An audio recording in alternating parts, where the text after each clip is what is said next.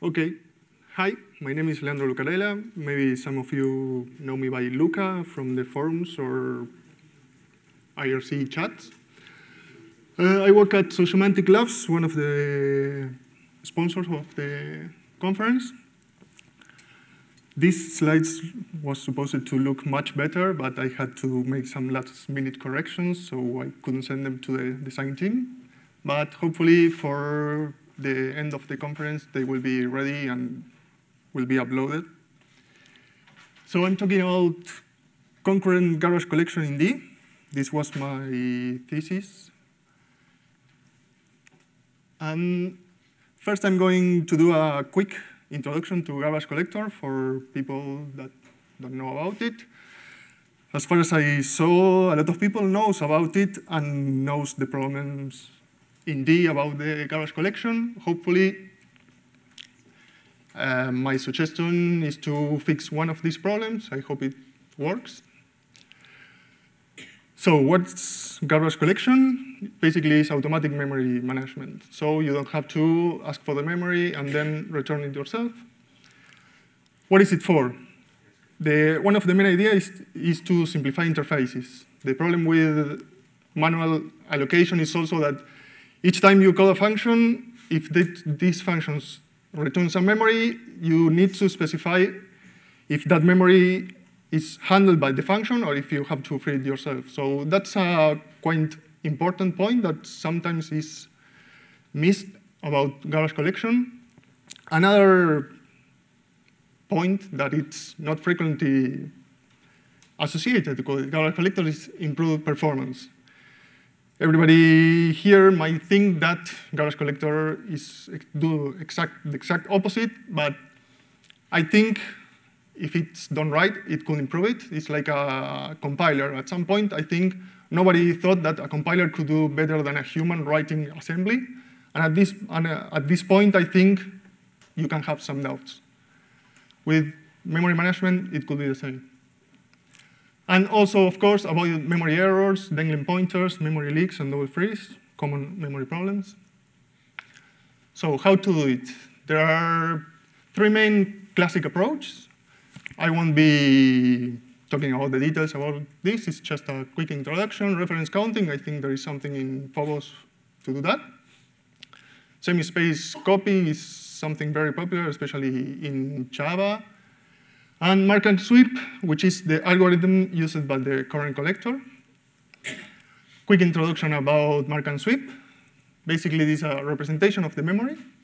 You have a root set, which is basically the, the stack, the CPU registers, and the static memory. So from that, you need to know what memory cells are still alive and which are not used anymore. So the procedure is to visit one by one the root set. So the R0 is a pointer, which points to the cell H1. So that cell gets painted when you visit it, so that means it's alive. Then you have to go through the pointers in H1. H1 points to H2, so we visit H2. We mark it to, to know that it's alive. Then you go to H5. At this point, H5 points to H1 again. But to avoid the loop, since you know it's already marked, you just ignore it. So that way, you avoid cycles, which is a very common problem of reference counting. So that loop is complete because H5 doesn't have any other pointers or any other previous cells. So we visit the second root, which points to H6, same procedure as before. H2 is already marked, so we stop there. So this is the result. The cells marked in white are the free cells, the garbage, and the other one are the, the live set, the memory that is still alive. So the sweep phase is just uh, traversing all the memory and looking for the white cells. So this is a very quick introduction. There is more than 3,000 papers about uh, garbage collection. Uh, the main goals about garbage collection is reduce execution time, the number of collections, the less collections you made, the less time you spend doing this bookkeeping about memory, to reduce each collection, and to reduce the pause time. This is an important problem. When the collection is done, basically you need to stop all the threads in your program because you need to see a consistent view of the, of the memory. Imagine that you if you do this while the memory is changing, then you have to do a lot more of bookkeeping. It's possible to do so, but it's really, really hard because you need to keep track of all the changes in the memory state. So the easiest approach is to just stop all the threads and do the collection and then start them again.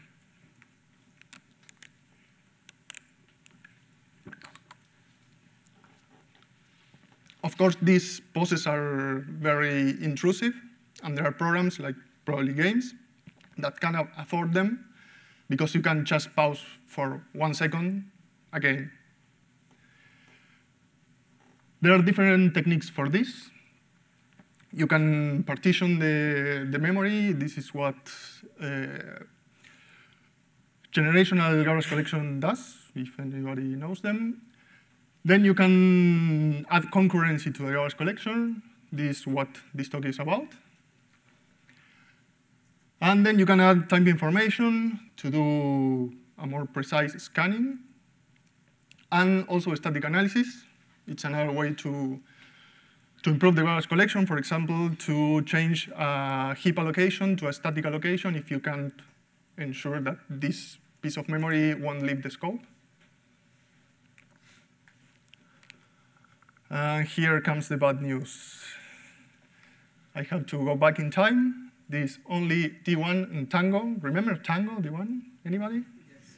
Who knows what Tango is? Interesting. okay, for those who don't know, in D1 there was a huge fight about runtimes and standard libraries. Tango was an alternative library and became kind of de facto standard library for D1. Fortunately, in D2, we don't have any problem, that problem anymore. And also this, the solution I propose is only for Unix, and it's been only tested on Linux, so sorry for the other Windows guys or Okay, now a little bit about the current collector. Um, Something important to say is also that the D2 runtime was based on the Tango runtime. So everything I will talk here, most of the time applies to the D2 runtime because they are almost the same in some aspects. So basically, this is the heap structure. We have the, the, the heap is composed by pools. Pools are just big chunks of memory that they are asked to, for, uh, to operating system using mmap, just a big chunk of memory. Each pool have a set of pages, a number of pages, and each page is divided in blocks. And finally, we have some free lists to keep track of free blocks. So a little more about the blocks. They are fixed size.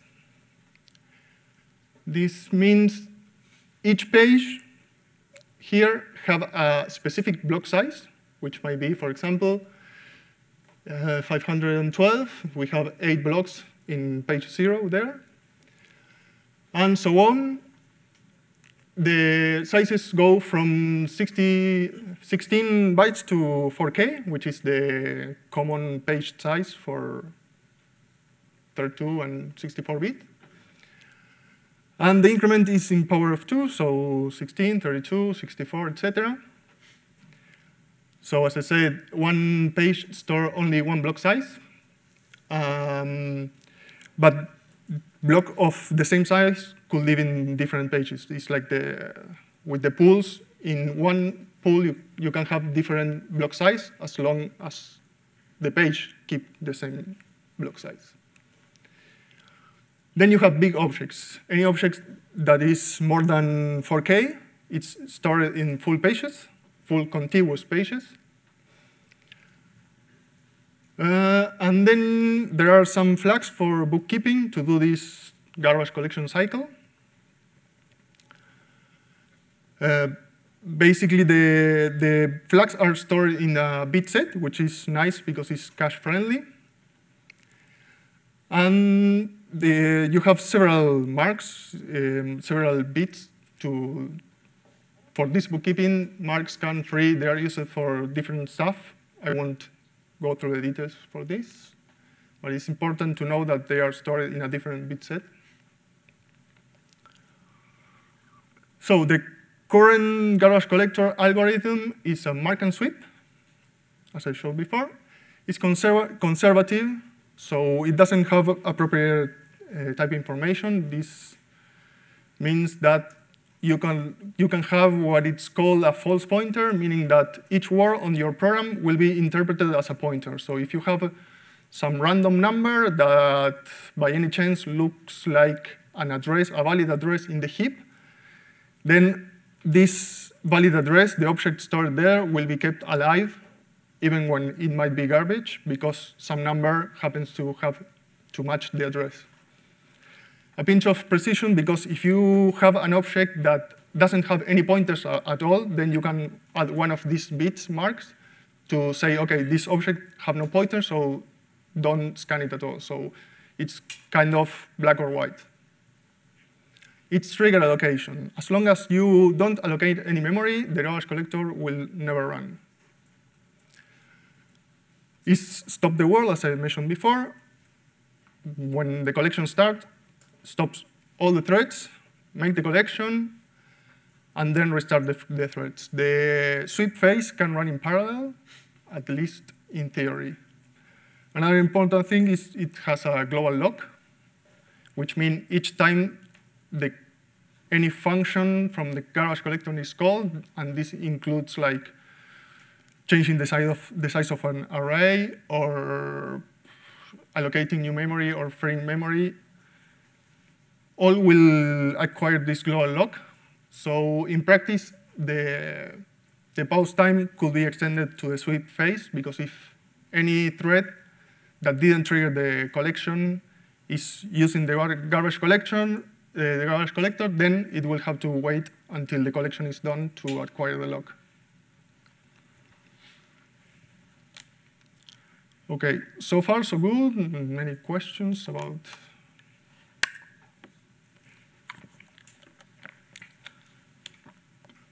So this is what I propose to change. Uh, first, I have to introduce the fork uh, system call. How many people here know what fork is? Ah, pretty good. Okay, so fork basically creates a copy of the process. The child process have the same uh, uh the same structure and memory than the parent, but it's a, it's a, a copy of the parent. So we have a snapshot of, of the parent memory. But both processes uh, run in different contexts. So when something is changed in the parent, the, the child process stays the same and vice versa.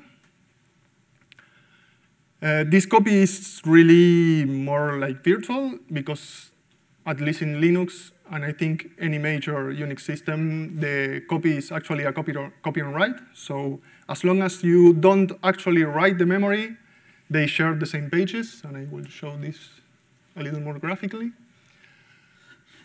And the child process starts with only one thread, the one that called the fork system call. And in Linux, it's very, very efficient. So basically, when you start with the parent process, you have something like this, a page table, which points to some pages in the virtual memory.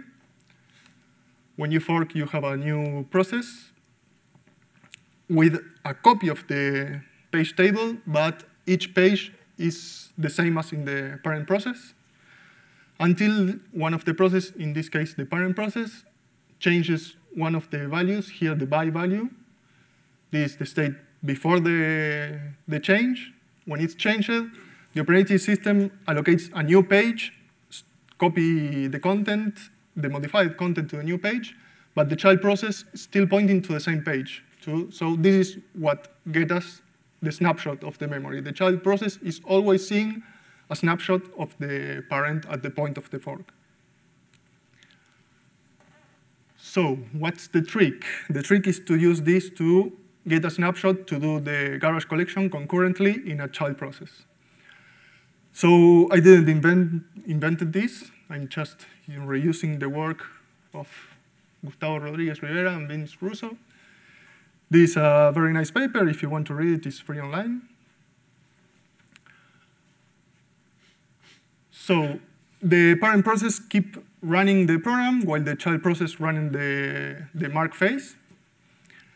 The results are communicated using uh, shared memory, and something that I didn't expect it, but was a really, really nice side effect is the synchronization needed is really minimal. You don't need to synchronize anything at all. Just do the fork call and the wait call, which is just to, to wait for the process to end. But each time the shared memory is used by one of the process, the other one is not really using it. So you don't have to synchronize anything in the shared memory. Just the, the parent process is forked, the child process will run the mark phase, changing all this, the, the shared memory is this bit set with the flags. So the mark phase will update all the flags, and while it does that, is that, that the, the program will keep running but will not modify these flags. So when the concurrent mark phase ends, just the, the main process, the program, will wait for it and just read these flags that were updated in another process. So it's a pretty simple concept, but it has some problems. So the thread that triggered the collection is blocked until the end of the collection. And this um, can potentially and also in the, in the other threads. This is because of the global lock, remember? So as I said, since, since the garbage collection is allocation triggered, what happens is one thread allocates memory, the memory, the, there is no free memory to, to fulfill this request. So the garbage, the garbage collection is triggered, but the, this thread waiting for the memory just can't keep running because it needs the memory to continue. So it has to wait until the whole mark and sweep is done. On top of that, if another thread needs to use the garbage collector, since the lock is taken, it will have to wait too. So at the end, the real post time is almost the same as the collection time, at least for sure for the, for the process, uh, for the thread triggering the collection, but potentially also for the other threads. So all this effort is not really paying off. So some proposed solutions. One of them, I called it eager allocation. And the idea behind this is to create a new pool before starting the, the concurrent mark phase. So the actual allocation request can be fulfilled immediately. So the, at this point, what we have is the process asking for memory. We don't have enough, so allocate a new pool, return the, the new pool to the requesting thread, and launch the collection concurrently.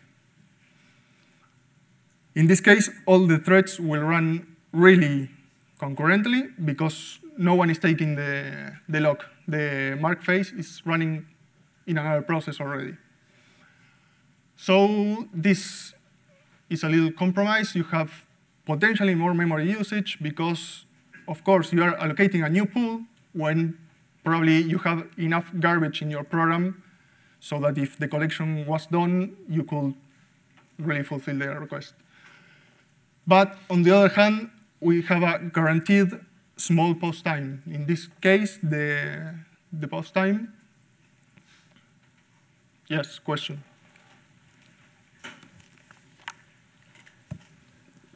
Um, I have,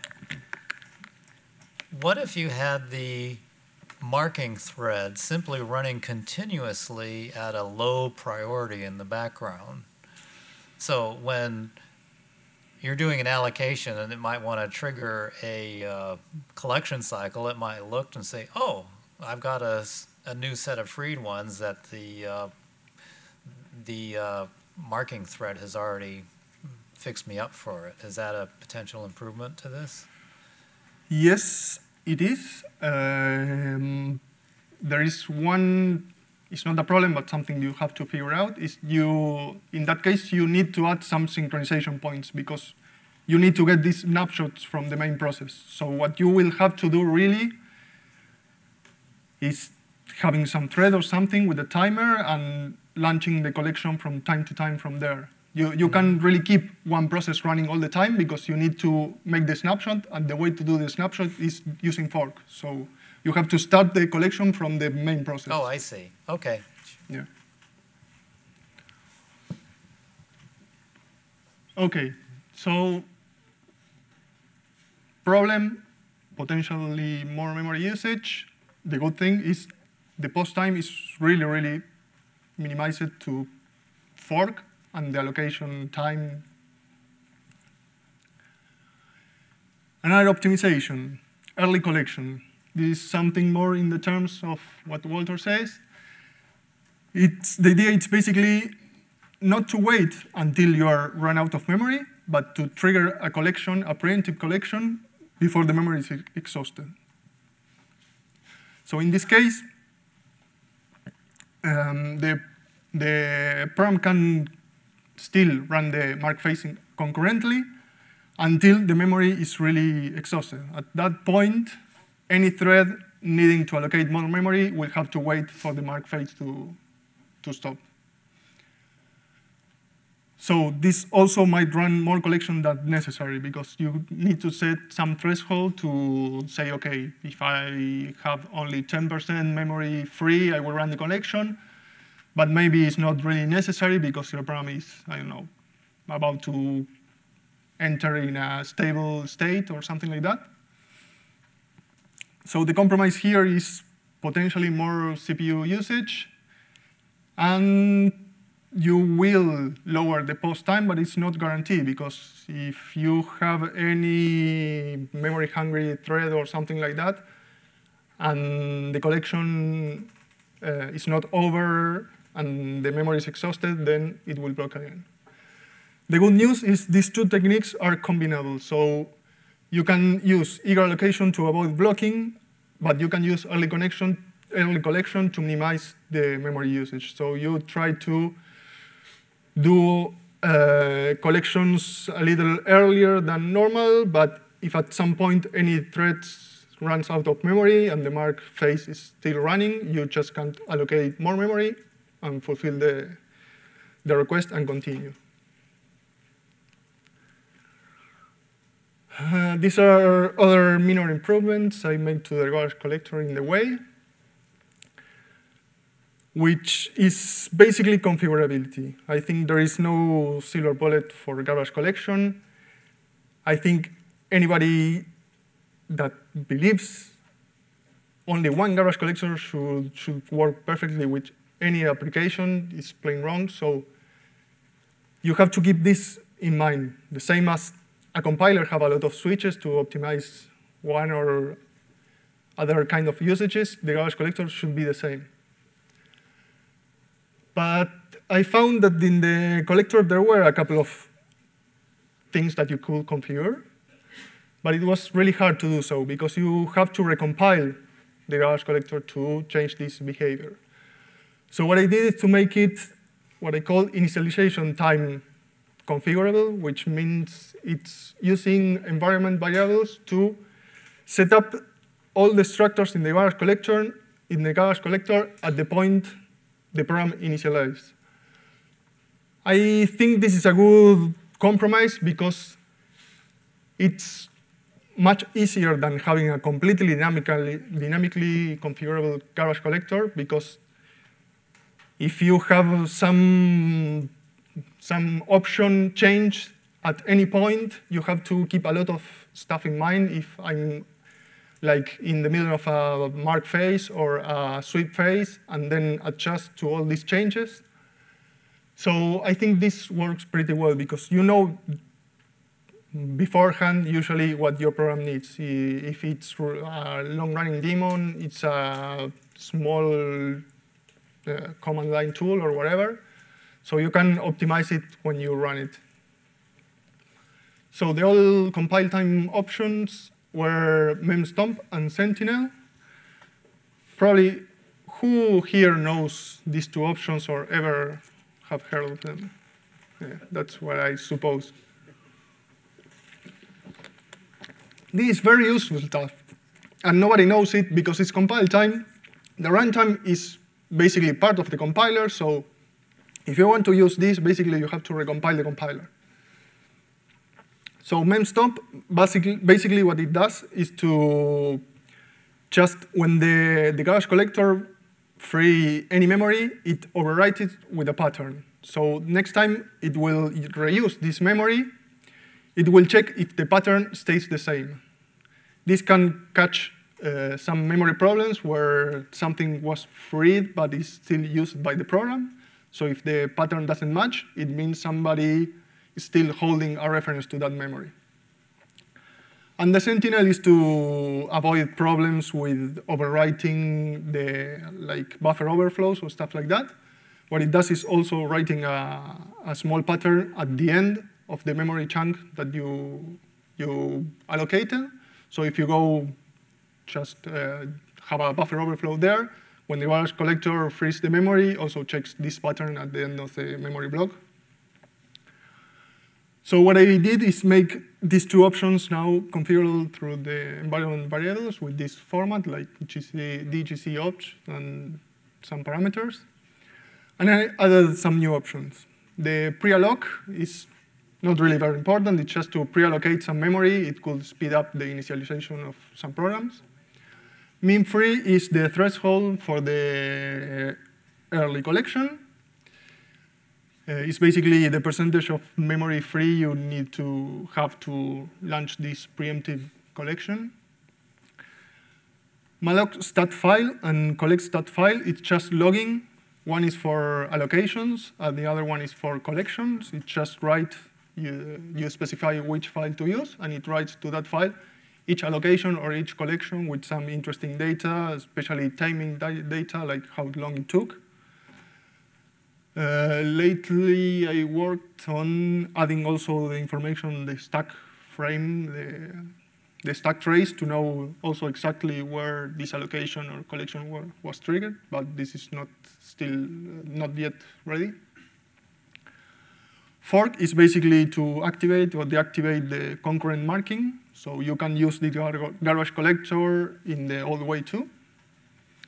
And eager alloc and early collect is these two optimizations that I talked before.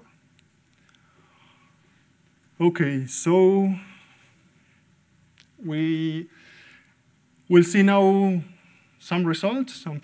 Unfortunately, these results are a little bit old, almost two and a half years. Uh, I wanted to do some testing with our programs in Sociomantic, but I need to do a lot of work because to compare to the, to the old garbage collector, I had to modify the old garbage collector and that code is already gone. So uh, uh, to do that, I will have to update everything. Uh, but I think these numbers shouldn't change a lot, especially for the one that was almost freeze. So, so the idea is to do multiple runs just to minimize any errors in the measurement. The results were expressed in minimum, average, maximum, and standard deviation, just using the average or something, or the maximum, or whatever value is not really meaningful. I think this, this really covers much better how also the, the tests do in terms of reproducibility. It's not the same if you have 10 seconds one second in another run that if you always have five seconds. So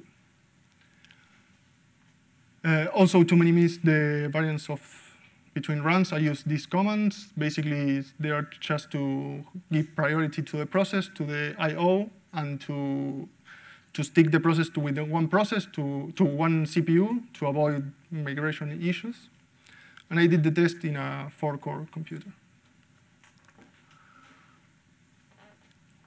This was really hard to find some test bed programs to test this with, because at that point, and I think maybe now with D2 it's a little bit different, but it's really hard, or it was really hard to find real programs in D out there, especially that they were updated because it was very common that somebody just made a toy project and abandoned, and since the, since the compiler changed a lot, in one or two months, that project will stop compiling.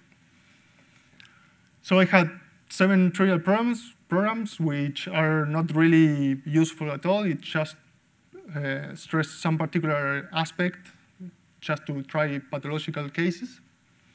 Small programs, this is the Olden benchmark.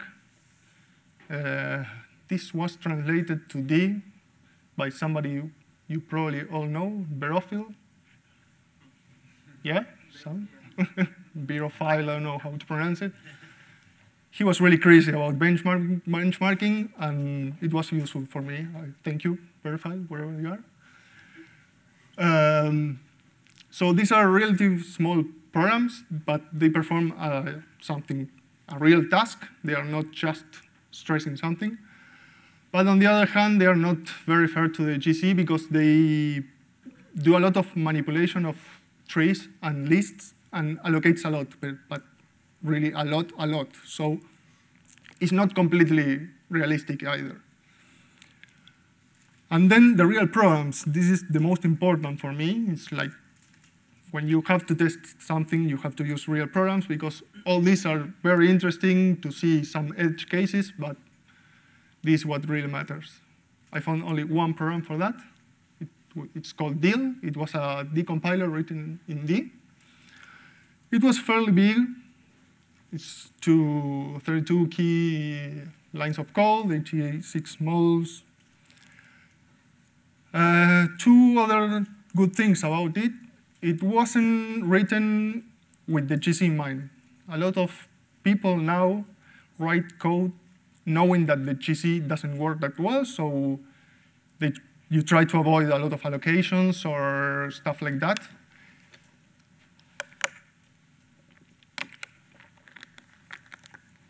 in this case, um, since I talked to the author of DIL, he told me he didn't thought about the GC at all. He just wrote as the GC was magical and just worked perfect. And also it uses a lot of constructions in the language that uses the GC, like dynamic arrays and strings, etc. Okay, what I measure is the maximum stop the world time, maximum real pause time. The difference between these two, the stop the world is what I call to, is just the time that all the threads are stopped, like really stopped, not because of the lock, the global lock, but because the garbage collector stopped all the thread to, to start the mark phase. This is even necessary in the concurrent garbage collector because when you do the fork, you need also to stop all the threads to dump all the registers and have a clean state. So there is some stop the world time in the concurrent garbage collector too. And the maximum real pause time, it's like the moment when the program issued the allocation to the moment the allocation returned. So that includes allocation time, fork time and everything, uh, everything that ran in the garbage collector. Then the peak memory usage and the total execution time. Okay, first, stop the world time. As you can see, except some pathological cases, this is order, maybe it's hard to see, but this is basically, the first one is the basic collector, which is the original garbage collector. Then CDGC. Then you have these lines. This is the minimum, this is the maximum, and this is the, the average and the standard deviation. And the first set, this order in the same order I use here. So the first one is here, and DIL is in that corner. Okay, so as you can see, even in pathology, in this case, in pathological cases, except on this one, the stop the world time dropped dramatically. For DIL, which is the case I care the most, you can't even see the line here. Also, this is all normalized to a percentage. So this is like the mean is 80%, and this is, I don't know, 0.01 or something like that. So massive drop, but still not completely meaningful because of the global lock. Remember that in this case, even when another thread might be running, if it needs to allocate, it will block again. So this is a more interesting value. But again, it's almost the same pattern. The pathological cases are more random or and then we have also here one of the Olden benchmarks that increase in, uh, normally the cases that increase a lot are prompts using a lot of threads allocating a lot. So in that case, the memory, this is also using the eager allocation and the early collection. So in the cases where you have a lot of threads allocating a lot, the, the garbage collector will ask a lot of memory to the, to the operating system. So you will have a lot more memory to, to, to mark. So that's also probably why it's taking so long in those cases. But again, going to DIL, dramatic change is a little bit higher than the stop the world time, but it's still a huge difference. Peak memory usage. This is where the, the concurrent garbage collector doesn't do that well. Again, those cases that nobody cares about, in this case, it, the memory usage has increased a little bit, or a fair amount of, of change. So here there are a couple of explanations possible, but probably is the, the eager allocation kicking in. Also, the, at the point when, when I did this test, there was a little bug that could also increment the, the memory usage, but it's kind of expected. As I said, the, the eager allocation can cause this kind of behavior. And this, is, this was a completely surprise for me. I expected that the total execution time increased, but it dropped almost a third. My explanation to this is DIL was a single-threaded program. And now the garbage collection is running in, a, in another process. And in a multi-core computer, what we did is just basically made a single-threaded application converted to a multi-threaded application. So while the garbage collection is running, the program can keep doing its job. OK, summary now with more concrete numbers. For DIL, we have the stop the world time drop from 1.6 seconds to 0.1 to 0.01, sorry. So in terms of interactiveness like a game or a low, low latency server, this the difference between not being able, able to use the garbage collector to being able to use the garbage collector. The same for the real post time. This is a little bit higher, but uh, maybe you can correct me, but this is, should be more or less in the in the span for a frame, or? About the zero. Sorry? It needs about zero. Yeah, okay. Well, then we need a little more work to do. But for any other low latency, at least for anything that you don't need the user to, to detect, I think 0.045 is pretty decent. The big memory usage went to from 200 megabytes to 300 megabytes. So it's worse, but considering the memory available nowadays, I think it's not that bad. I will pay the price to have the small poses if you need it. And the total execution time from 50, 55 seconds to 20 seconds, pretty impressive for me. So this means stop the world 160 times lower, post time 40 times lower, peak memory usage 50% higher, and the execution time it's lower by three times. Some problems, limitations, and outstanding issues. The memory usage is clearly one of the main problems. Uh, probably because of eager allocation. I think part of the problem could be solved already because of this bug fix. And probably uh, another thing that I didn't do with this test is to hand tweak the parameters like the threshold for the early allocation, uh, early collection, or so this might be tweaked like using different parameters. And the second one is an important one, a really nasty surprise, but there is a possible deadlock when using the glibc. The glibc uses an internal lock. And since the thread stop is done using signals, when you use uh, the only place where I see this happening is with malloc, with like uh, with the libc malloc. So if you use external C programs, and the malloc gets interrupted by a signal uh, when the lock, the internal glibc lock is taken, then when you fork, the fork also tries to get the lock, and since the thread stopped, the malloc will never return, and you will stuck in the fork.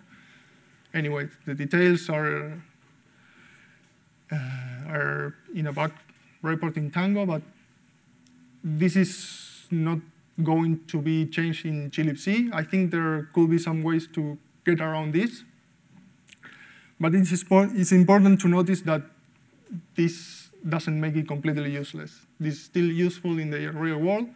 We are using this garbage collector for almost two years now in Sociomantic, and it works, having these things in mind, it works well. Some future work, I didn't mess up the sweep phase. Uh, very common optimization is to do a lazy sweep phase. Basically means that you don't sweep until somebody is asking for more memory, so you can split the sweep time uh, more evenly between allocations, so you can reduce the, the pause time. Concurrency, I found, found also that the global lock was really disturbing when trying to achieve concurrency. And try to figure out this related to the glibc problem, uh, try to, to, do, to stop the world without using signals. Besides that particular problem with libc, also using signals is very dis the, disruptive to programs because it's something that it should be available for programs. And right now, the runtime in this using two signals for internal usage. Any questions? Yes, Walter? I'm not sure why, uh, I thought you eliminated the stop the world, so why are you having a problem with stop the world? Uh, I didn't eliminate stop the world because to do the fork, I need to first, first get all the threads stopped and dump the register to the stack so I can scan those registers. So it's a really tiny time because it's only for the fork that you need to stop the world, but you still need to do it. Why doesn't that happen when the, uh, oh, because it's not doing fork, okay. yes, whoever have the microphone.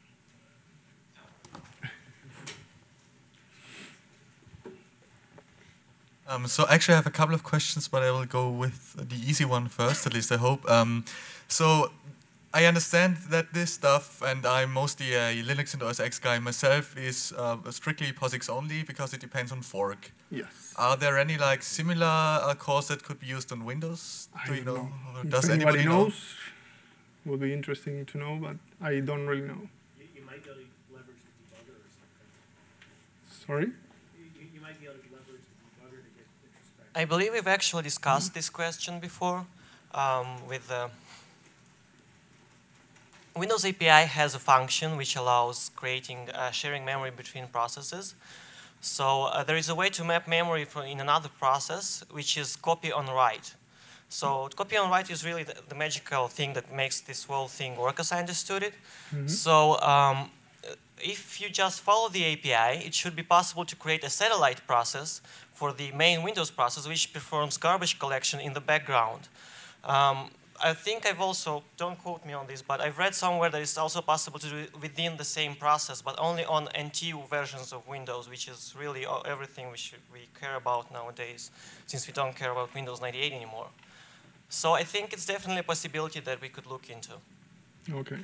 Yeah, I think anyway that when the garbage collector becomes so close to the operating system, you can share a lot of code between different implementations of the garbage collector, but if you really need to do something very performant, you probably want to keep different implementations for different, operating systems.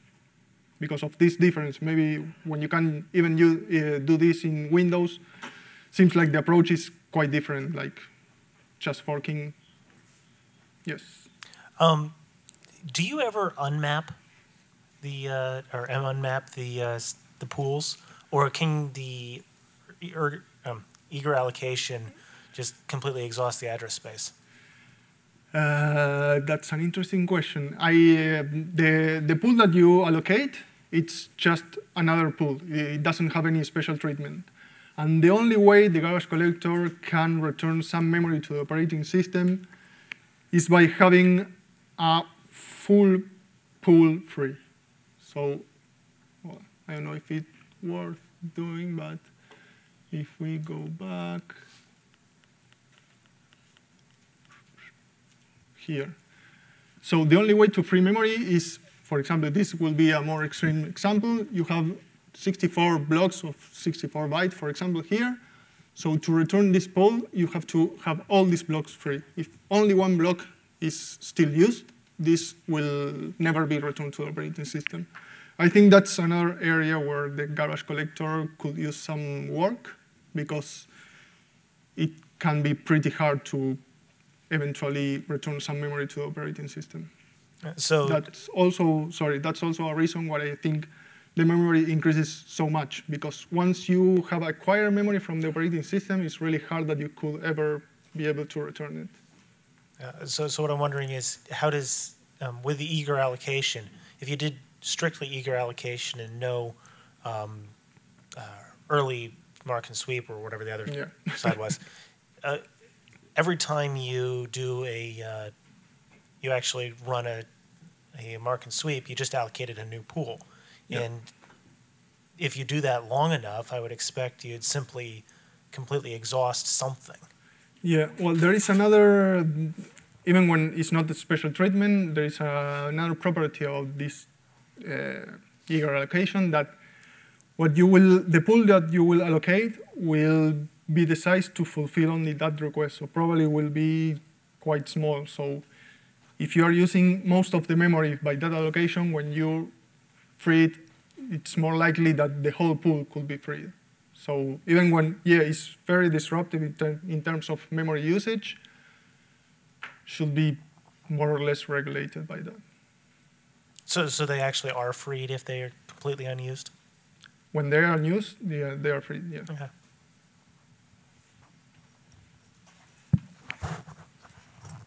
Um, I wanted to ask about that. Um, of the stop the world time, um, the when nothing is running, I think that was uh, uh, 45 milliseconds or so in your slide.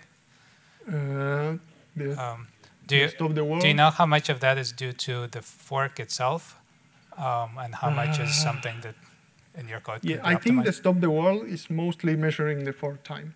It's a fork time plus a little bit of this. You, ha- you, you need to dump all the registers to the stack to be able to use that as a root set. But yeah, this is the slide that you wanted to see, I guess. But I guess Uh, if it's fork time, we yeah. don't have too much Yeah, hope of making it another- 10 times smaller, right? Sorry? if it's just the fork time, there is not much hope of making it much smaller. Yeah. No, but that that's also an interesting point because when the memory increases, the fork time increases too because you have to copy much bigger page tables. So If you are working with really big amount of data, that could become an issue. Yeah.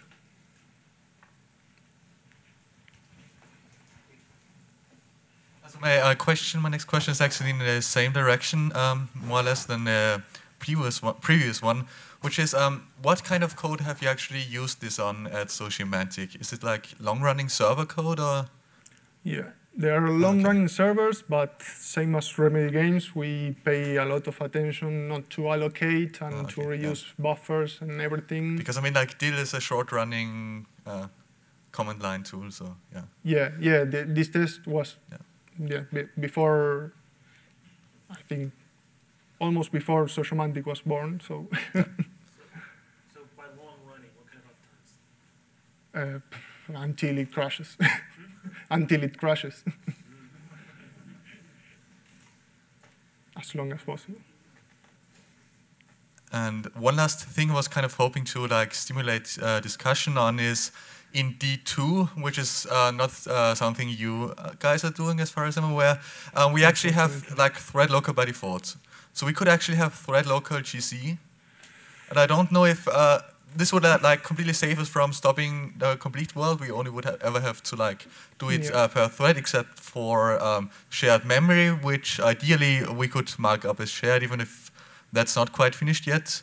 So I don't know. Maybe we can like um, figure out a plan to make something happen in this regard because there should be some quite nice savings in like uh, interruption time there. If you're only like collecting your, your your pools to scan and everything would be smaller and you would only have to stop one Yeah. thread. And I think D should be able to actually have a a quite um, small like global shared memory set if you had, if we can do it per thread. Yeah, I didn't thought about like the details of how to implement it. I know it should be possible. There is literature about it too.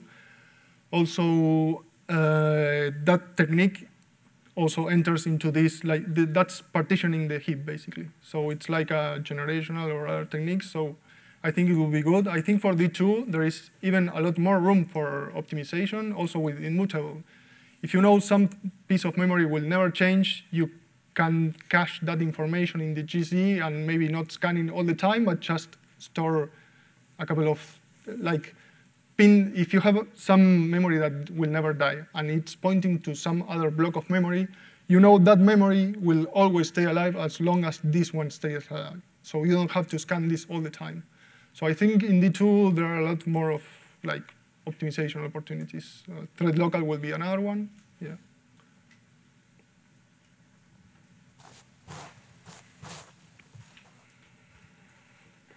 So I, I was wondering about your problem with um, the total, the real pause time, in terms of during the mark phase, you're holding the GC lock. Uh, I wonder if you could release the GC lock during the mark phase because all that's going to come back from the other um, processes, which bits to free, those aren't going to change even if things are um, you're allocating more memory or whatever. In the concurrent uh, garbage collector, the lock is freed uh, immediately. The, during the mark phase, it's not taken. It's okay. Yeah, no, it's uh, at least when you use eager allocation or early collection. If, if, you, if there is any way to fulfill that request, then the, the mark phase will run in parallel without taking the lock. So it's just during the sweep phase that you have to that you Yeah, have to prevent exactly. other The- threads from. The way it works, I didn't mention that. i- next allocation, the, the garbage collector will check if the mark phase is done. If it's not done, either will block, or if eager allocation is enabled, it will return more memory. And then when the, when the mark phase is done, the sweep phase runs. That also is blocking the process. So that's why I think sweep, uh, the sweep phase could also use some optimization like lazy sweeping or something like that. Is lock-free sweeping a possibility? Sorry? Is lock-free sweeping using CAS or something? Uh, the is the sorry. Repeat the question. Is, is there a lock-free algorithm we could use for the market sweep? Could, yeah, could, could you, could the data structures that keep track of what's allocated and what's not be made to be updatable without taking locks, like using Okay. CAS or something? Uh, I guess they could. There's another problem with lazy, lazy sweeping. It's in the, in the sweeping phase, you have to also run the destructors. So if you do that in parallel, you have to also have some, I don't know exactly, maybe Walter have an answer, if there is any definition in the language about if the, if the destructors can be run in parallel or something like that. Just I think they can be run in parallel at the moment anyway because the GC log is. Uh, Yeah. I- uh, Actually, I think I think there was a requirement uh, a long time ago. There was a Tango bug where, in a destructor, if you were doing something and that required a mutex in C or something, some other thread could have been holding onto that mutex. So you actually have to release all the uh, uh, all the threads during the sweep phase. Hmm. So I think you could um, Yeah. potentially do that. Yeah, And yeah, guess you that, could that's a, a problem I'm seeing. I, I think the the language doesn't say anything about like you you have to. I think the only thing you would need to do is to take the lock to to set the different bits to tell whether the uh, the, the the block was free or not, because that's Hmm. stored in a separate location. You should be able to do that with a CAS as well. Sure. Uh, I I have a question. Um, have you measured uh, the time uh, that the copy on write uh, uh, needs in the running process? No, that's an interesting question too, and that's another problem. If you have a, a program that mutates the memory a lot, it can become a problem. Also because you will need more memory. Now you have two processes running, and if the main program is modifying a lot of stuff, then that copy and write magic will not work anymore. So yeah, it's something to have in mind, and I didn't do any measures about that.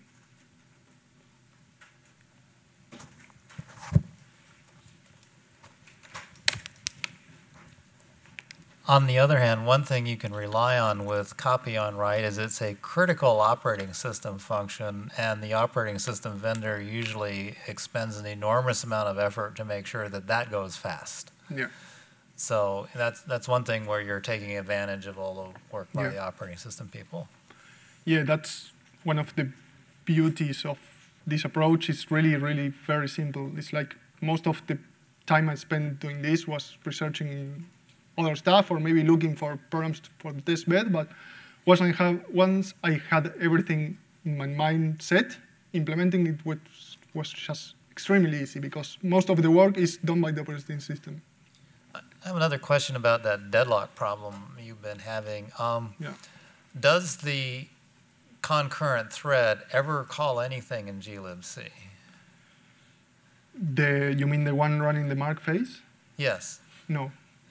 And it still deadlocks even though it's not calling Yeah, because it's before it forks. It's the oh. if if any thread has called the malloc function, and the signal arrives when it's inside malloc, and with the lock taken, the the stopping of the threads it's done before the fork. So when we, you try to fork, the forks try to get the lock, and the other lock is taken. The threads are stopped, so deadlock. Can't you just call the raw system call? That's one of the approaches I want, want to try. I don't know. I mean, also, if they have a lock, I guess it's for a reason. So, Could you take but it's one of the approaches to, to try. could you take the the um, um, once you get the registers from the threads? Couldn't you just exit the uh, the signal handler? Sorry, repeat. Couldn't you just exit the signal handler once you take the, the registers from the threads? Mm, no, I don't think so because you need to stay paused until the fork is complete. So you need Trying to think. more time than that. You need a fully consistent view of the entire flow. Okay. Yeah, I don't know. Maybe trying to minimize or, or getting another way. Well, that was part of also the future work. I think probably the best way to go will be to find any way to stop the threats without using signals or to get the information without stopping the threats or I don't know if maybe uh, this also when you have to see if you are if you want to go to one specific operating system because probably if you stay with Linux you will have some kind of system callbacks or something to stop the threads or something like that. I'm afraid we're out of time, so. Let's give Leandro a big, big hand. All right. So, um, minus, minus one minutes break, and then we're ready for the panel. So let's take a real quick break and.